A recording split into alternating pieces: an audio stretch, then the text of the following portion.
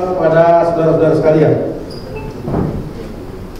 Yang pertama, PWI adalah organisasi yang mengemban misi bagi terwujudnya kehidupan pers nasional yang merdeka, profesional, bermartabat, dan memegang teguh kode etik wartawan Indonesia. Kedua, bahwa keberadaan saudara-saudara sekalian sebagai pengurus PWI Kabupaten Hilir adalah melalui proses yang selektif dan saudara-saudara semua dipercaya mampu mengemban sebagai pengurus PWI Kabupaten Rokan Hilir.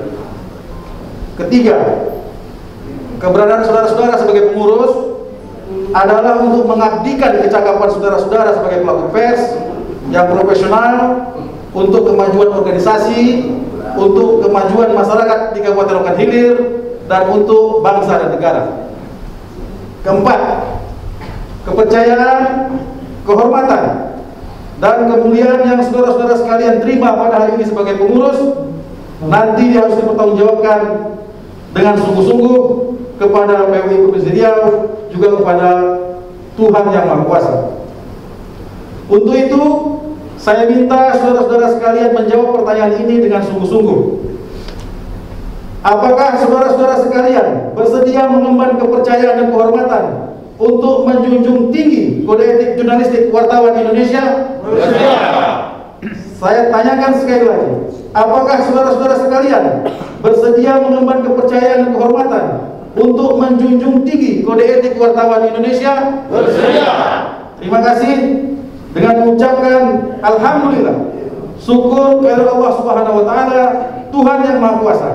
Dengan ini saya Haji Julman Saskedang atas nama Ketua PW Provinsi Riau secara resmi melantik saudara-saudara sekalian sebagai pengurus PWI Kabupaten Rokan Hilir masa bakti 2019-2022. Semoga Allah Subhanahu wa taala Tuhan yang Maha Kuasa senantiasa memberikan perlindungan, petunjuk dan kesuksesan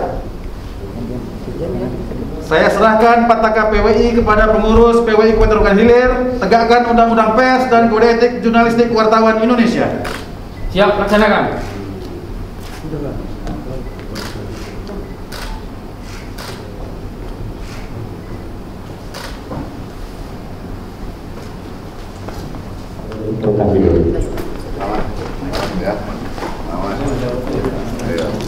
Hilir.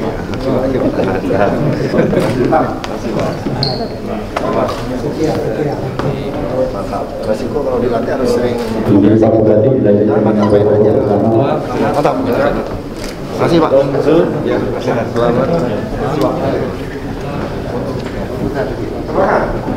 Lanjut ke belakang